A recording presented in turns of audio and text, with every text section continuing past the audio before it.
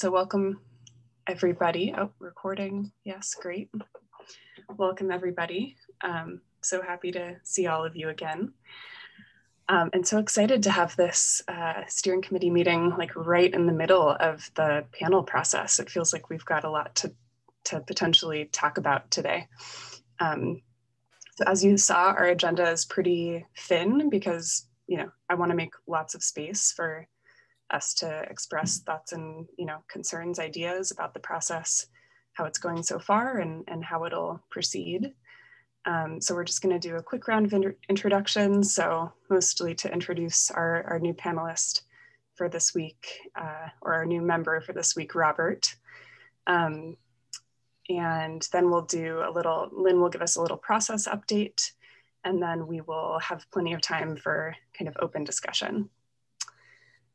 So let's just first, I know we've done this almost every time, so thank you for your um, uh, persistence in these introductions, but the uh, Oversight Task Committee has approved this, this structure of having kind of, maybe you could describe this better, Lynn or Robert, but two panelists, you know, in our meetings every time, but one overlapping and one rotating, one new person rotating in for each new meeting.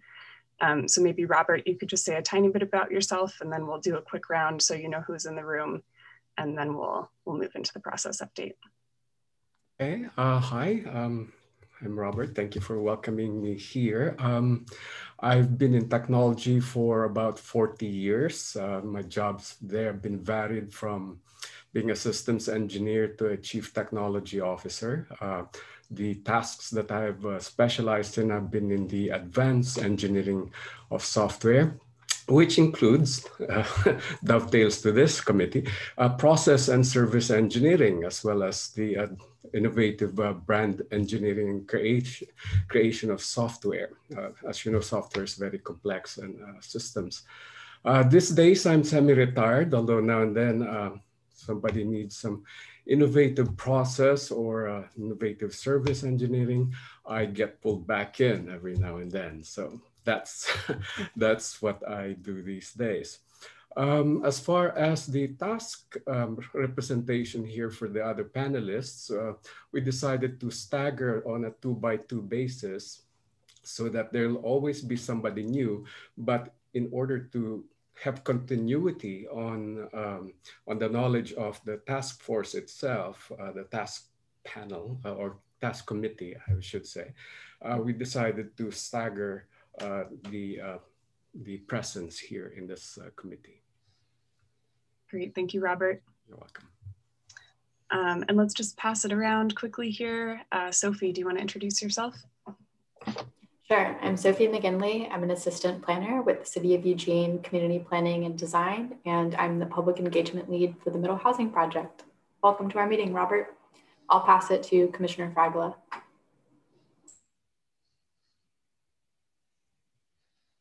There we go. Um, my name is Lisa Fragala, and I am a member of the City of Eugene Planning Commissioner.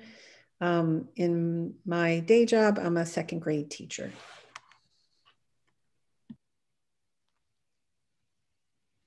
Great. How about Ken? Uh, Ken Beeson, Eugene Planning Commission. I'll uh, I'll pass it to Heather. I'm Heather Salicki. I'm a member of the Human Rights Commission, and my day job is White Bird Clinic. Pass it to uh, uh, Jennifer. So welcome, Robert. I am Jennifer Yeh. I'm a city councilor for Ward 4, which is Northeast Eugene. And my day job is I work at the Lane County History Museum. How about Ed? Welcome to the panel, Robert. Ed McMahon, I'm the Executive Director of the Home Builders Association. Let's pass it on to Carolyn. Hi, I'm Carolyn Jacobs. I am the representative for the Neighborhood Leaders Council, which is a group of, or comprised of somebody representative from each of the 23 neighborhoods in City of Eugene. Terry? Hi, Robert and everyone. I'm Terry Harding. I'm the principal planner for the City of Eugene, managing the city's work on House Bill 2001. That's my day job. In my not day job, I'm a mom of 13 year old twin girls who are trying to learn from home, which is an adventure. I'll pass it to Kaarin. Hi, everyone. Kaarin Knudson. I'm an architect and urban designer based here in Lane County also homeschooling two children in the elementary ages. It's a great adventure right now. Um, and uh, I am also the founding director of Better Housing Together and on the faculty in the architecture and planning departments at the University of Oregon. Um, and it's a pleasure to be a part of this steering committee. Great. Thanks, everybody. I think you know who Lynn is, Robert. okay, perfect. Um, so great, let's move right out right into the process update from Lynn. And um, Lynn, if it's possible to just take till 120 still, that would be great, but, yep. but what do you need to do? No, no, fair enough. Absolutely. And um, I just talked to Linda. I believe she's coming on in just a moment. So um, Robert, you and Linda, I'll give you a chance to to say whatever you'd like about the process so far here after I've sort of done the, the nuts and boltsy kind of stuff. So let's do the nuts and bolts first though. Here's this update. Uh, we're in the middle of phase two. Um, as you remember, there's sort of three phases to this fall section, two phases to the spring section. Um, so we're in the middle of this section where, this phase where the panel has selected stakeholders and experts to come present. And I've heard from one of them. We're going to hear from a whole bunch more uh, coming up in the next few sessions. Um, ah, yes, there we are. I wanted to spend most time, uh, most of the time showing you a little diagram of sort of where, where we're going. We're right uh, between sessions four and five right now. Um, so the panel is done its, its sort of two rounds of selection um, using the menu that you provided, also um, entertaining uh, any additional folks uh, off the menu. I think that the folks selected were all from the menu, if I remember right, um, though.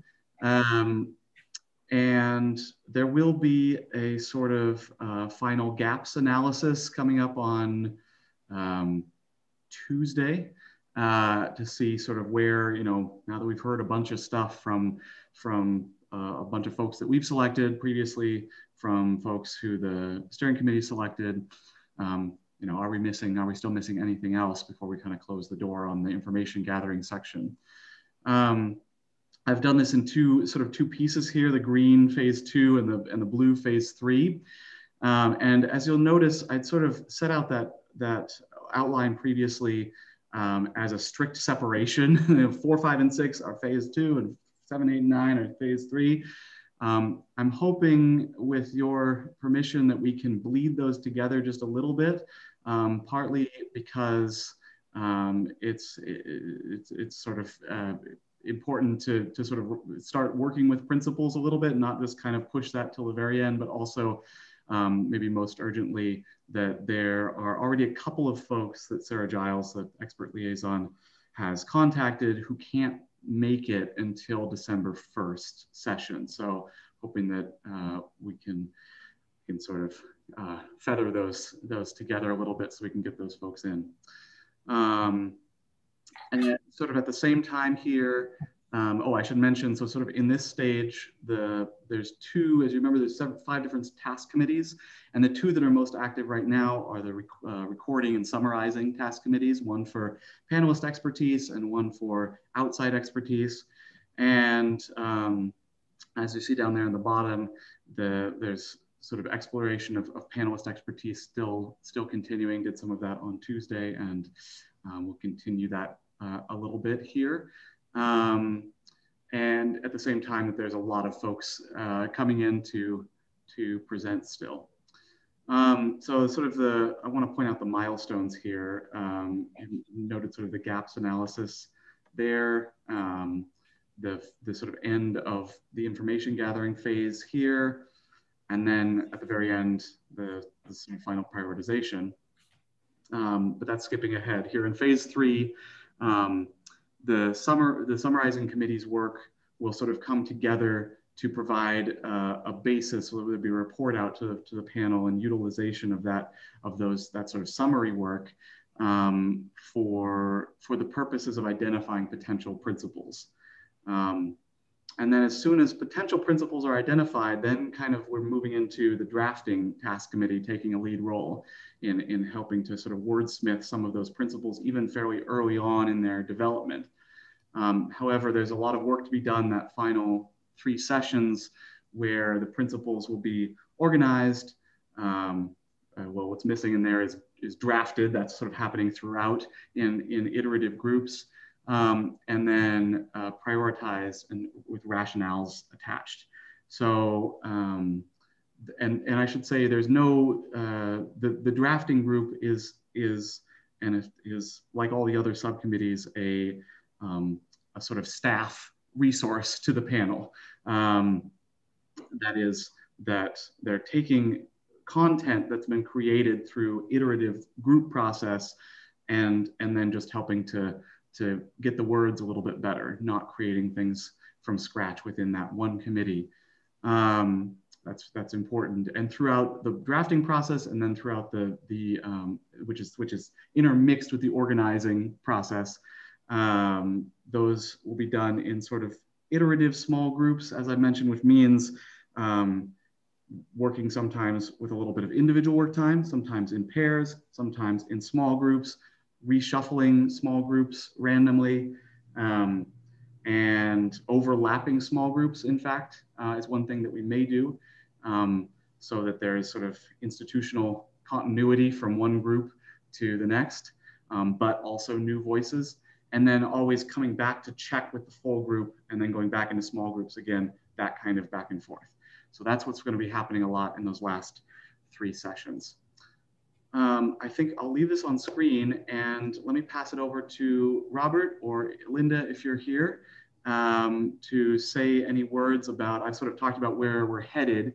Um, would you like to say any words about sort of where we are right now or where we've been or how you're feeling about the process? Go ahead, Robert. Okay. I was deferring to you, but uh, yeah, I think the process is very familiar to me, having been, uh, well, I've lived this thing for, lived process for 40 years.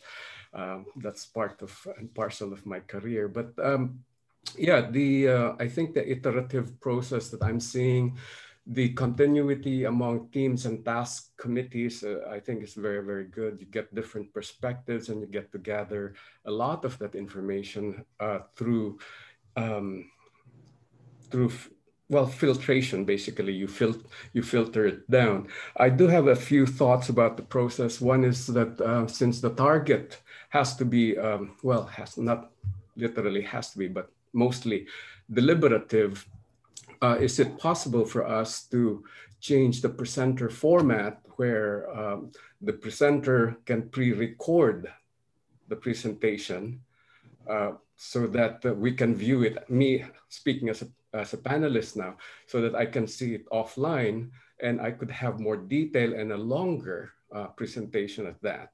And then to round it off, perhaps the presenter can be given, I don't know, two minutes perhaps to recap this in, during the actual um, actual session and then you actually then have a longer time to deliberate and ask questions which seems to to drive a lot of the meetings. Um, so that's one.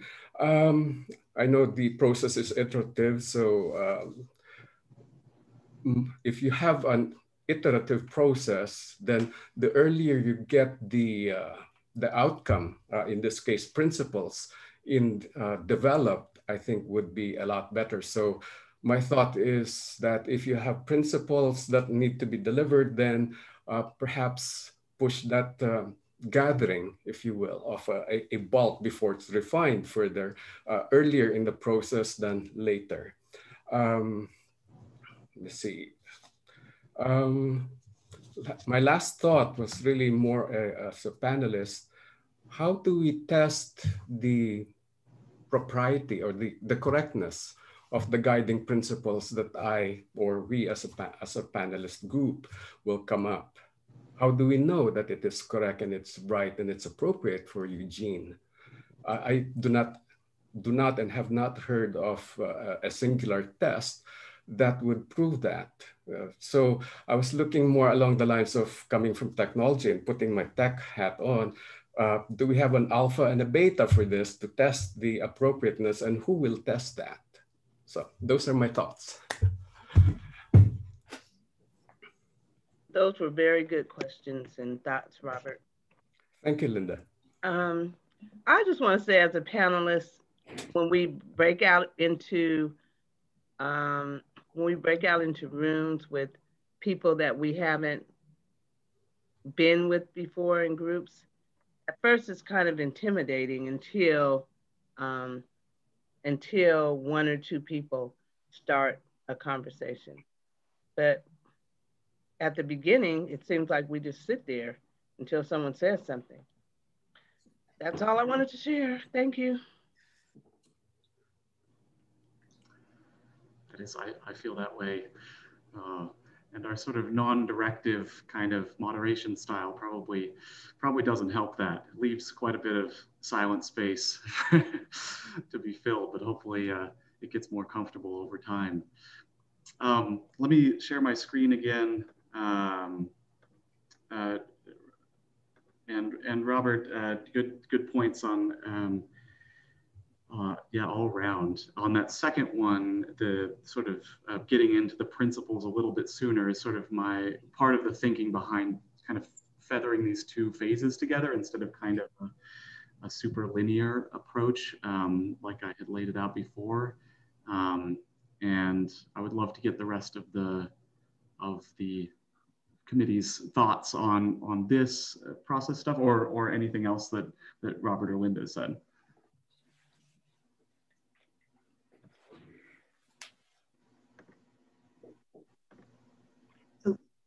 Did you want to do kind of a discussion of this diagram first, Lynn, before opening up a bigger discussion, or is that yeah, yeah. I wanted to just, well, first of all, just the very practical thing. I wanted to see if there were any um, objections to sort of feathering phase two and phase three a little bit together on session six and seven, like I've diagrammed here.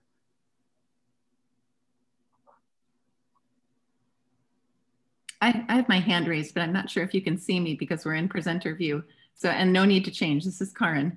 Um, I just, I was looking for the raise hand feature and couldn't find it. Um, so I don't have any objections to feathering the two. I, I do think though that puts um, an additional burden on you all as the facilitators of this process to make sure that any new information is incorporated into any thoughts or decisions that happen preceding that information arriving, right? So it adds actually an extra cycle potentially to your principles development process. You'd have to go back and confirm that you know what was learned after beginning that process you know doesn't isn't generative or is generative um, and if that can be folded in uh, effectively i think you know it gives the the panel the best chance of using their time well and and then reflecting you know what they hear in a few of those later um, presentations. I was struggling lynn i have to say i was struggling a little bit to track as you were explaining this diagram to us the schedule. Um, and and probably for really basic reasons like i would be really careful to be sure that this diagram that you're speaking the same words that are on the diagram for the different sort of categories. And even if that means more clearly labeling you know phase three like doubling just the color indication and the phase and then using the same heading i think that will help other people who are trying to follow along with this. Um, and then i would be careful about diving into you know the description of, of cyclical process within each of these arrows while you're walking through it. Um, and i don't know if you're sharing this with others you know beyond our group but those those were thoughts that came to mind for me. I wasn't um, quite clear how the task groups that you described fit into this and, and sort of where they their work lived um, and it sounded like, this is a question, that the task groups are generating draft principles and then those draft principles are going to the full group for discussion. Is that accurate? Uh, sorry, yeah, no, I know it's confusing because there's kind of different kinds of groups here, and and sorry if I didn't lay this out as well as I could have. Um, good, good comments uh, for the future. Um, so yeah, there's sort of two different kinds of groups and randomly selected small groups are who will be doing the content, the, the primary content work, um, including uh, identifying um, principles or principle ideas and doing a first sort of pass at principles. The drafting group is is an editing group. Really, it should be it should be called a wordsmithing group. I think was the other word we used. So they're taking taking concepts that have come out of the the randomized and iterative process and and helping to refine the words rather than doing content work. Um, and who's generating the content then? Is that in the that's the iterative small groups here. So that's that's so that's what I was sort of talking about. Um, that we typically you sort of go from smaller groups to larger groups to to the full group to back down again to smaller groups to back up to the larger group again um, in a in a sort of back and forth kind of process like that. Mm-hmm. Um, so and and the reason why it's important to do those in in randomized groups rather than task committees is the task committees were self-selected into based on people's um, you know, interest and skills in, in those areas. So the drafting group may not be representative of the or reflective of the whole panel, but if we do a sort of randomized and iterative process, then we can get closer to, to that. And the other place where, so the drafting group is kind of, is this proofread, uh, I don't know what to, editing, let's call them editing group, maybe that's a better, a better description. Whereas the summarizing group is, is sort of in the earlier stages, just trying to everybody is is maybe taking notes or or sort of thinking about the information coming in but the summarizing group is sort of helping to put some pieces together and and and create some yeah summary of of what's come in from outside versus what's come in from the panel itself. Okay. I'm i'm i want to keep going. I don't but i do think that um finding language that people can visualize and track clearly and understand the differences between groups' responsibilities will be probably important because this will be referenced again.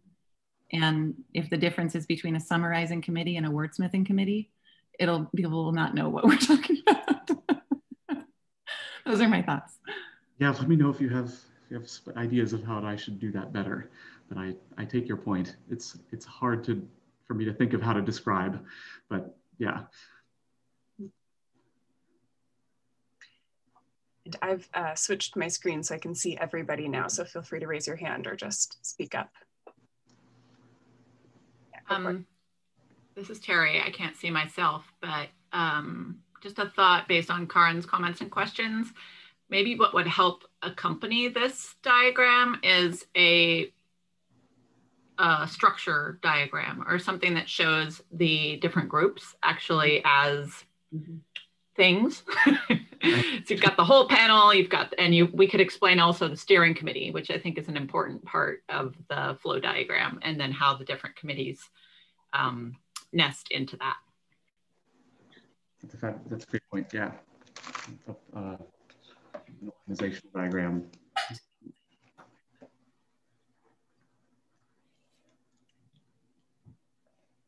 Any other kind of direct feedback about um, moving the principles back back a session or up a session, I suppose?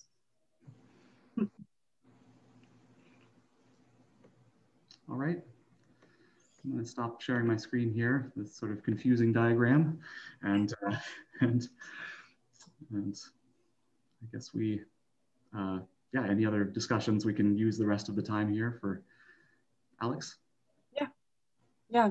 So before, um, like I said, our, most of the rest of our time will just be for open discussion, but I wanted to very quickly here, just um, for reference, before we get into that, just share, remind us of our working agreements, but specifically um, also, yeah, we can refresh on the agreements there. Um, and specifically the decision-making structure. Um, so just in case this comes up uh, you know, in this conversation today, remembering that we're striving for consensus minus one. Um, but if there's kind of a big proposal that gets generated today, then um, we've we've made this space for ourselves to kind of fall back on a on a voting majority um, system if if there is kind of a proposal for a change and, you know, or the status quo. Um, we can use voting if need be. And then prioritization is how we've done, you know, the menu, menu creation and um, expert selection so far. So just a quick reminder on that. And um, now I'd love to just open it up for, for conversation. What are folks um, feeling? Have, what are observations, concerns, thoughts about how the process is going so far and, and where we're headed from here? I see Sophie's hand. Thanks, Alex. Um, for everyone that wasn't um, or didn't observe the last meeting that we had on Tuesday um, or hasn't looked at the list of uh, prioritization for the experts that the panelists themselves chose, would you mind sharing that? Um, just so folks can get an idea of what the next few sessions are going to look like and who will be speaking. Yeah, sure. So we did that in a couple different phases. Um, as, as probably you all know, we did some on Saturday and some on Tuesday. So those were the two documents that I sent out in email. And I can, um, I'll pull those up and share them. If a couple people want to make comments in the meantime, it'll just take me a sec to get them up. I had one small related question, which was just for a list of the experts that have spoken to the panel to date. If, the, if you could just run through those, because now I can't, I'm not even sure how many panel meetings have happened. Lynn, would you be able to do that as I get these, these documents up? Yes, absolutely. Um, uh, let me just pull that up as well here. Um, so we've had we've had four panel meetings so far, four, four sessions, three last week, Tuesday, Thursday, Saturday, and one on Tuesday. Um, the first three sessions, as you know, were stocked with folks from the top of your prioritization list um, in the first sort of background expert round. Um, we are on, and uh, it's going to take me a second to, to pull up those names uh, as well. I saw Ethan from uh, Ethan Stuckmayer from LC, DLCD and Alissa Hansen from the city of Eugene. in one of the panel sessions I was able to watch. I think it might have been the first session. Yeah, that was our first. I think so. I was in a couple of parts. Yes. I think I saw Renee Clough on that one too. Okay. So here's all the here's the names on the project website at healthydemocracy.org slash Eugene. If you just go down to the documents section, you'll okay. see the presenters with everybody that provided slides. Um, there's slides linked from here as well. Um, yeah. So uh, the first panel selected presenter was Michael Andersen from Sightline, uh, who was able to be scheduled on Tuesday. Uh, was the only person from that first, ra first round of panel selection on Saturday who was able to be scheduled in such short time. So um, those other folks um, will be scheduled in these remaining times, plus the, the folks that were selected on Tuesday as well. I'm ready to share the other ones if, um, unless there are any more questions, comments about the presenters that have already done. I have a question. It's for Linda and Robert. How do you all feel like the panel is engaging with or, you know, taking in the feedback from the experts so far? Um, I think for the most part, in the in the uh, subgroups that I have sat in, um, there is a uh, an underlying theme of uh, we need more information. Uh, personally, I I find myself uh, in a quandary looking for more data about uh, certain certain specific things. Um, demographics is a, is a big thing for me because tacit uh, into this process is the is that we're we're we're creating middle housing, okay, and uh, my question is how do you perpetuate that over time? How do you keep middle housing present in, in the economy? And there are various forces that interact with, uh, with, with this, real estate, uh, financing, um, ownership, migration, and all that. And uh, so far, I have not seen uh, a, a, lot of that in the presentation. So overall, with among the panelists, and Linda was uh, part of uh, my original group also, who can speak to that. Um, I think there's a feeling that uh, the, the, information we're getting is too summarized, perhaps, uh, and that there are more questions that can only be asked after further deliberation, you know, day three to, you know, a day two or three or a week after, and, uh, you know, when you've digested the, uh, the presentation. Linda? Well, I am learning as we're going along. And um, I don't know if you know, but Robert is he has engineering in his background. So he is putting trying to put the puzzle together.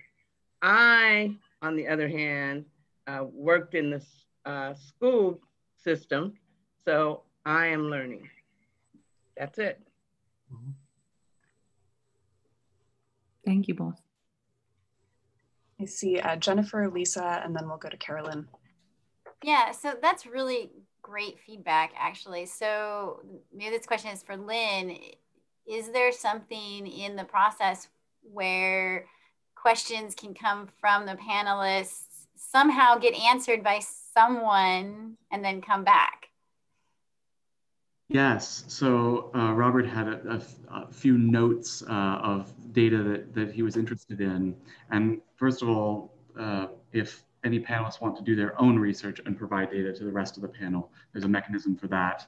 Um, but but uh, I sent, sent that uh, list over to, to the city, to Terry and Sophie, and um, they said, well, actually, one of the speakers who's sort of on the list um, may be able to speak to those quite well. And so we sort of went back and forth with Robert and said, uh, and said well, let's let's hold on, see if that person ends up getting selected by the panel. They sort of seem to be on the short list right now. So, um, and they were selected on Tuesday, I believe. Um, so, uh, and have been scheduled um, for uh, that first uh, day in December, you know, pending this conversation today, but it seems like nobody has objections to that. So um, they're one of the two people that were sort of only available that day in December. So, um, but yes, questions like that, um, I will forward, continue to forward on to the city in case someone can, uh, or, or forward on to whoever has an, seems to, you know, might, might have an answer to something like that, or encourage the panelists to do their own research. So when people so if a panelist brings their own research how did how does that does it have to be like an original source or is it just i read this thing somewhere and right so it's submitted via a form on the on the internal panelist page uh, password protected page. And each panelist um, nobody has done it yet but um, everybody is welcome to submit any additional sources um, one per panelist per phase is sort of what we've gone for right now because um, it can be uh, there, there's a, there is potentially a problem with overwhelming with information. That said, um, you know, the panel uh, can choose to change that or you can choose to change that. Um, how information comes into the process is something that's always open for negotiation. I think it's, it's a balance between what, what is um, sort of enough uh, openings for information versus sort of what is kind of opening the floodgates to information in a way that could give preferential access to people who have time or ability to, to get information into the process one way or another. That's kind of a balance. And then I know we had two on deck, but I also don't want to lose this request um, from Kaarin to put the selection up. So I think I'll just share my screen and then um, we can just have that to look at uh, while while Lisa, Kaarin, or no, Lisa, Carolyn, and then I saw Kaarin's hand. Um,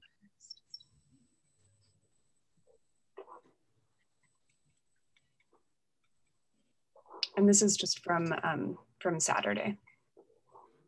Feel free to either read this for a moment or um, Lisa, you're welcome to jump in. Oops, I'll make it smaller. And just as a point of clarification, this is just sort of the first few names that were selected on Saturday, the names in pink being the ones that were the final selection.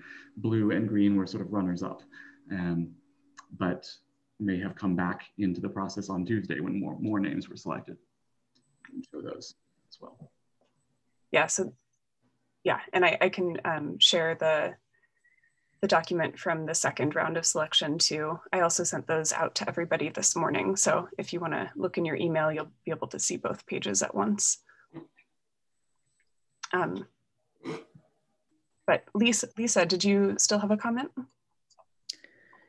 Yeah, and and just for what you're showing us right now, I actually found the one that gave the final summary of the selection process to be the most useful mm -hmm. um, in terms of what you're putting up. Um, I, I just wanted to say um, that, uh, so when I joined the Planning Commission, um, you know, I'm a second grade teacher. I am not an expert in this field. And I've learned a ton since being on the Planning Commission for three years. But I believe there's real value in hearing from um, gen- the general public, right? Sometimes we use the phrase everyday people, right? We want to hear from everyday people about what they think in this process. And um, I think it's really important that uh, the panel's well informed, but I also um, would hope that people don't feel like they they have to have the pressure to be experts in order to provide input. And so I, I, I would love to hear how, like what's been communicated to the panel in terms of their role in, you know, the larger role of this group in the public input process around HB 2001, because there is also a broader public input process, correct? Should be. Mm -hmm. I think that's a, maybe a question for Sophie. Yeah, I think um, Lynn could better answer the first part of that question, but there, there absolutely is opportunities for um, broader public engagement outside of Bill 2001.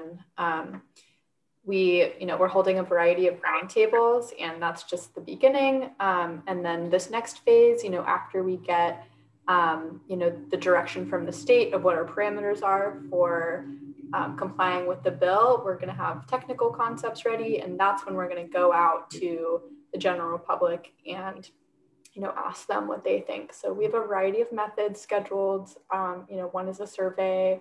We're going to develop things we're calling meetings in a box um, for folks to uh, interact with, and so that is absolutely a goal. Is um, you know folks outside of this you know these structured meetings and processes and I'm happy to expand on that later, um, but would like to defer to Lynn for that first part. Yeah, so uh, I, th I think we've tried to make it as clear. Robert and Linda can tell us how well we've done with this uh, or not, but um, but we are trying to sort of um, to sort of uh, make panelist expertise and experience a, a part right along side by side uh, the sort of outside expertise um, and experience. Um, and we'll continue to do that um, sort of in a very intentional way on Saturday. Um, and then uh, well, possibly on Tuesday as well. It's sort of, that's, the, that's something that will get mixed in um, and complement the, the presenters still pending how many presenters there are on any particular day. Um, so that's we've sort of uh, given the the other uh, time to to panelist experience as much as possible. But yes, very extremely valuable. We we are in complete agreement, obviously, that that that everyday folks is is that that is the center of of all of this. So yeah. And I just, um, just because I think it's hard to conversate authentically when we have uh, screens shared constantly. Um, I just shared the links that are from the um, public webpage of, of both of the results of our, our two prioritization processes in the chat. Um, so let's go to Carolyn next. Okay, thanks. Um, so the very first presentation, or the very first um, panel meeting, you showed a, um, a video on bias, which I thought was really good. Probably should be shown more places, more times. But then as I watched the meetings, I started to sort of wonder, like, how do the panelists know what these various presenters' biases are? How can they even guess? I mean, we list them up there and we say, you know, why this person is qualified or why we recommend them. But I don't see that the panelist has any way to know or even to figure out what someone, especially if they know nothing about land use or House Bill 21 or the city or anything, how do they know what these various people's biases might be? And how do they know even with if what's being presented is actually true? I mean, I've listened to several of these people who obviously they know their stuff. They're, you know, it's what they do for a living. But I've heard statements which I'd say, wow, that's really some sort of exaggeration of the truth based on what I know. And, it, and it's from, it's not any one of the presenters, it could be anyone. But I just worry about, because there's always the risk, I mean, or there always is some sort of transfer of bias, right? It was actually built into the, I think, that little video where if the person is presented in glowing terms, they're an authority, this is their, their work, and they have some sort of bias, which maybe everybody has some different bias, but you present some sort of bias.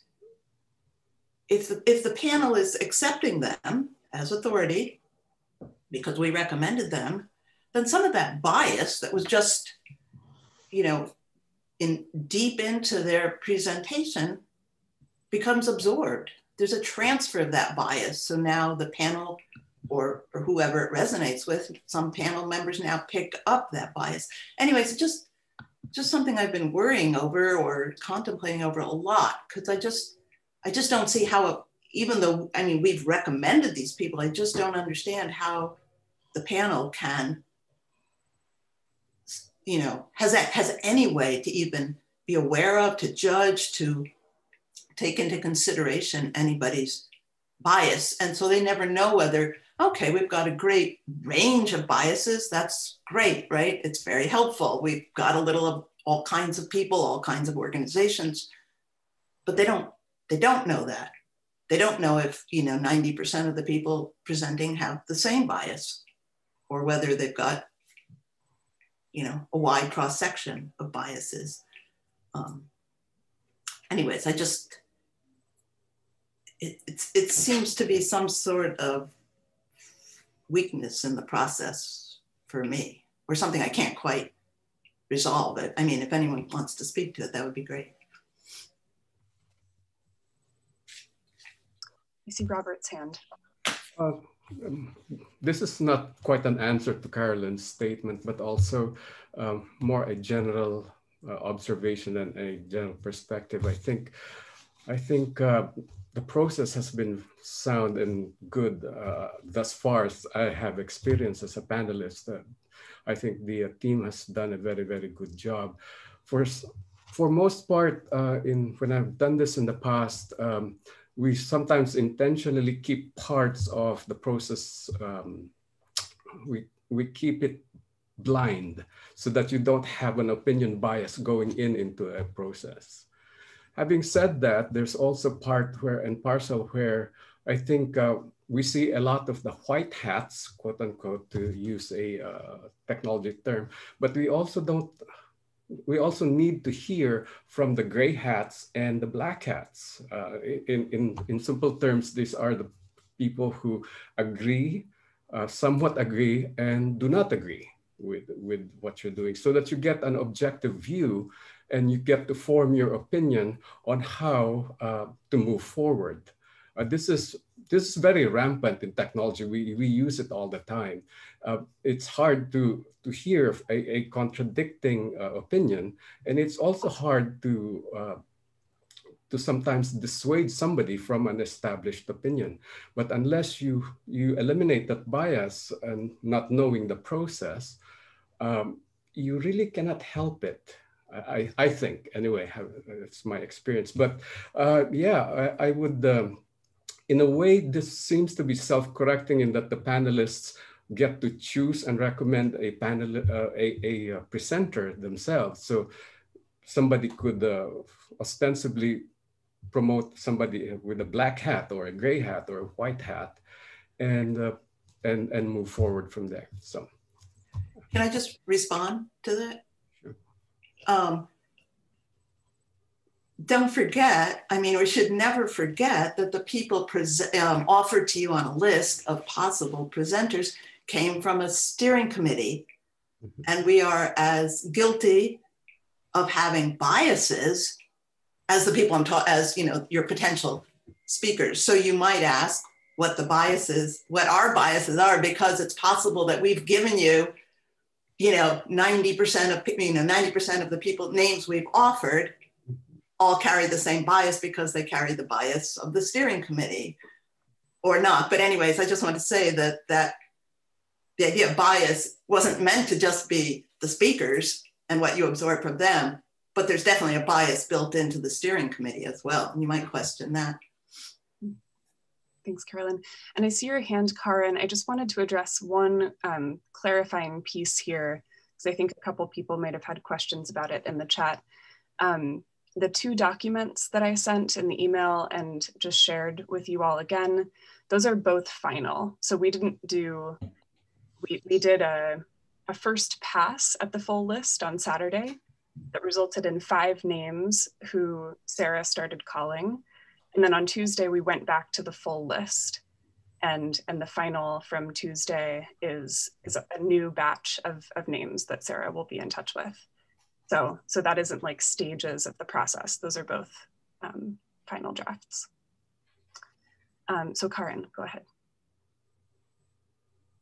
I just, I, I think I had thoughts as well about that conversation. And one, I guess, perspective that I'll offer is I, I agree that it would be helpful to incorporate, um, and maybe this is to Robert's point earlier, an ability for the committee to, you know, double back on its assumptions based on what it's heard from panelists, right? Um, and that that I think speaks to some of what Carolyn was just addressing about concerns with bias. I also think that there's a part of this process that um, you know, I'm I'm interested to see how it plays out. Right? We've never uh, tried to have this kind of representative conversation about housing and and planning for housing in our community. It's historically been driven um, with you know the appropriate structural formally required processes, right, as laid out by law, but is um, typically able then through that um, burden that it places on people, only engaging a very few number of people. And the few people usually engaged are people who already own their homes and are happy with everything being the way that you know they bought in, right?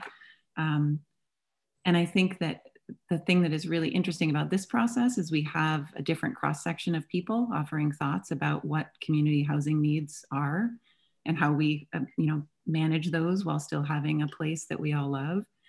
And I think it's going to feel uncomfortable at certain points to see a process be more democratic, democratically representative because it won't be familiar to us. And that's a big bias right? I want i want what is familiar and i want what feels comfortable to me those two things um, in terms of you know kind of where we where we live in our own hearts. So i think it's i hope that lynn and um, sophie and terry and Alex, Alex, you're taking kind of this, this feedback to heart. And the, the last thing I'll say, I'm sorry to go on, is that um, for Robert and Linda especially, because this steering committee is populated, I think, from pretty different perspectives around uh, the need and, and the desire of having more housing options and um, more affordability of housing options in our existing um, neighborhoods, you know, that there is a wide range of, of expert perspectives coming to you on that list. If it was coming just from me, it would be different. Coming just from uh, Lisa, I'm sure it would be different, right? Um, but you're getting, I, I, think, a cross section of perspectives, at least at this point, that um, makes me appropriately uncomfortable, right? it is not a whole a whole group of people who are in lockstep with what they think you know the world should be, and just from seeing who is coming in the future, you're going to hear, uh, I think, some you know pretty wide ranges of, of feedback on housing need and and the um, role of, of this law in meeting it. So those are my thoughts. Baron. And I saw Terry's hand earlier, and I just want to be mindful of time. We've got about seven minutes. Alex, Ken had used the raise hand feature a few minutes before Terry. Sorry. Thank you for pointing that out. Yeah, and I just wanted to say we've got a few minutes here, and if there's anything that you know you you really want on Lynn's mind and my mind um, as we continue to go through the process, since we don't have a meeting next week, this is very much the time to um, make sure we know what we need to know. So uh, Ken and then Terry. Okay, thanks. I'll try to be brief. Um, I appreciate all the discussion I've heard. I guess I've, I've tried to keep up with this as best I can. I think I've seen everything except Michael Andersen. Uh, I feel like I'm pretty well caught up. I had some, some questions about the process as we were moving into it over the last couple of weeks. And I found as I've watched the panel sessions, I, I find myself getting a bit more comfortable. I understand being uncomfortable. I think it's still pretty not at all clear to me uh, where it's going to go, but I find myself curious and interested and open. Um, having said all of that, a couple of kind of recurring reactions I've had all the way through. And I, I, really think you guys are doing a good job. I like, I kind of like the way this has been set up. I like the way you've got it organized and how the discussions go and all of that. Um, I, I just find myself, the first four sessions, I think, have been about getting people grounded and helping people understand kind of the foundation of this, is, is has been my impression from all the material. And um, I think they've been good. I've, I found myself wanting them to have just a little more time. And I completely, and, and I kind of heard echoes of that from Robert. And I understand as you set these up, you've got to stay within time and you want the meetings done on time and so on. So I get all that. I just find myself with several of the speakers thinking, gosh, I sure wish I could have heard some more from them. And it's like they had more. Um, I had a little bit of the same thing for when we've been able to hear the panelists ask questions and the panelists talk. I'm really thirsty and hungry for that because I, I know I can't be part of the small group discussions, but I'm always curious what's going on in there. Uh, so I think to the extent that there is a way as we go forward with presenters to have give them any more time and any more time for the panelists to ask questions. So that's just kind of some comments and reactions after, after three or four sessions. Thanks. Thanks, Ken. The constant struggle. uh, Terry. Thank you. I'll keep it super brief. I just wanted to throw in um, a statement to the effect of what's guiding my participation in this steering committee as staff. And I point to the public involvement plan that was approved by the Planning Commission. So if you haven't read that, it's worth looking at. It's our guiding document for all of the public engagement being done for House Bill 2001. And it has a focus on equity and inclusion. And so I just wanted to provide that as a document that you could look to for what um, values and approaches were proposed by staff and ultimately approved by the Planning Commission. Think I saw um, Carolyn's hand first, and then uh, Lisa, you'll probably have the final word. Okay, I just had a quick question. Is the and this sort of rates re, uh, relates to a lot of people's comments, but I'm wondering, is there, would there be any means that this, or the steering committee could come up with a means that anyone from the general public could provide any amount of comments or information to panelists? Just wondering if that's, it doesn't exist now, but um, several people actually have asked me about that. Is there a way they could comment? And I, I don't know. Um, they have asked us several times if we have had any meaningful conversations with friends or neighbors regarding this subject. So I believe that is um, the opportunity to share just what you're asking. Mm -hmm. Lynn, do you want to respond directly to that as well? Yeah, I was just going to say that that's uh, no, that wasn't wasn't built in as an aspect of this particular process, but is always something that's that's on the table and and would be a, a process element uh, for the steering committee to to consider if you wanted to introduce something like that. Okay, well, I guess I'm I'm suggesting that that might be a useful thing that the somebody in the public could send info or comments to the, especially if you've been watching how long, you might want to send something to the whole panel. I don't know what the proper procedure to move something like that forward or to make that happen. Don't know. So, so yeah, um, that would, I think that would be a process that this group would need to kind of form a proposal around and, and decide how that might happen. Seeing as it's coming up right at the tail end of our meeting here, I'm not sure how to do that in a way that that you know, makes sure everybody's voice is involved in kind of developing that proposal and um, doesn't quite feel like we would have the space right now to make a vote, but I'm open to ideas about how to move forward with our decision-making process um, in the in the time that we have, if anyone has a suggestion. Yeah, Lisa. Keep forgetting to unmute myself, sorry.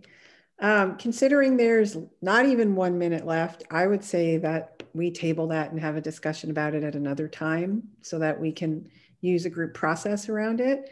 Um, but I did just quickly want to go back to the comment that I wanted to make before, which was um, my comment earlier was really about the, the power of our democracy and the confidence that I personally have in non experts, in our community members to provide informed, authentic um, feedback. And I think that's part of what is happening here. And so I just wanted to say I trust the members of this panel to be intelligent enough and informed enough and savvy enough to understand that there's bias and to evaluate the range of presenters that they're they're seeing. And it, it's great to hear from Robert and Linda. And it sounds like it's going well. And I think it's important as a steering committee that we trust in the process. And I'm also excited to see what the outcome is. Great. Thanks. I think that's a, an excellent final note and uh, we will see you all back here in, in two weeks. Thank, Thank you. you. Two weeks, not next week? Next week is Thanksgiving. Oh, darn. right. We're not going to spend Thanksgiving together. Unfortunately. okay, goodbye. Everyone.